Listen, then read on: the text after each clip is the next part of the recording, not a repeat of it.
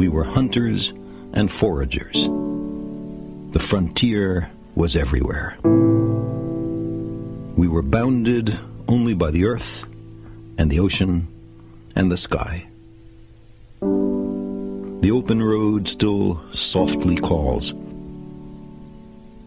Our little terraqueous globe is the madhouse of those hundred thousand millions of worlds. We who cannot even put our own planetary home in order, riven with rivalries and hatreds, are we to venture out into space?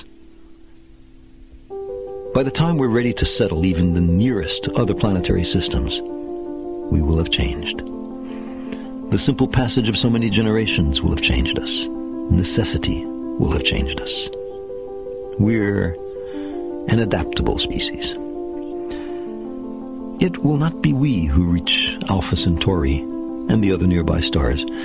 It will be a species very like us, but with more of our strengths and fewer of our weaknesses. More confident, far-seeing, capable, and prudent. For all our failings, despite our limitations and fallibilities, we humans are capable of greatness. What new wonders undreamt of in our time will we have wrought in another generation and another?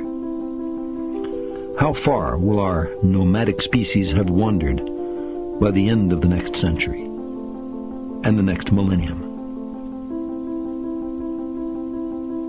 Our remote descendants, safely arrayed on many worlds through the solar system and beyond, will be unified by their common heritage, by their regard for their home planet, and by the knowledge that whatever other life may be, the only humans in all the universe come from Earth. They will gaze up and strain to find the blue dot in their skies. They will marvel at how vulnerable the repository of all our potential once was. How perilous our infancy. How humble our beginnings. How many rivers we had to cross before we found our way.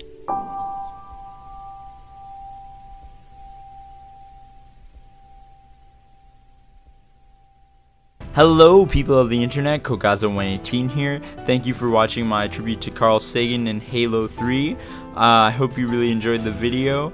And watch if you like my video, you should check out my other videos like the video on the left, which is an awesome montage, and the video on the right, which is soon to be uploaded, another tribute to Carl Sagan done in another Halo game.